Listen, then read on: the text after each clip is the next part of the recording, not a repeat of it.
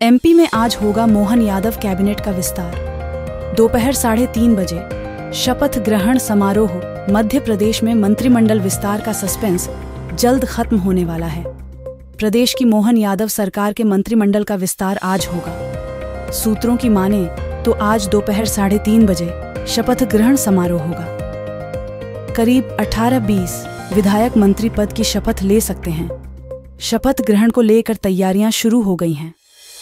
सभी विभागों को अलर्ट कर दिया गया है। दिल्ली में मंथन के बाद नामतय मुख्यमंत्री मोहन यादव ने दो दिनों तक दिल्ली में रहकर बीजेपी के कई नेताओं से मुलाकात की, जिसके बाद मंत्रिमंडल के नाम पर अंतिम मुहर लग गई है। सरकारी एजेंसियों को लेकर राजभवन से अलर्ट जारी हो गया है। अलर्ट में मंत्रिमंडल का ज़िक्र नहीं किया गया है।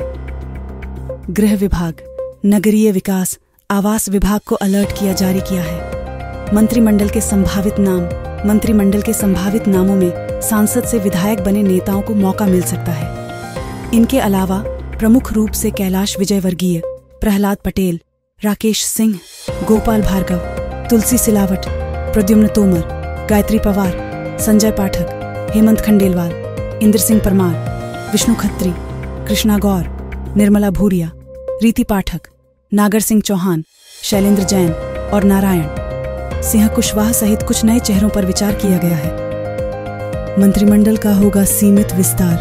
पार्टी सूत्रों का कहना है कि लोकसभा चुनाव को देखते हुए सीमित विस्तार किया जाएगा। चुनाव के बाद फिर एक बार विस्तार होगा।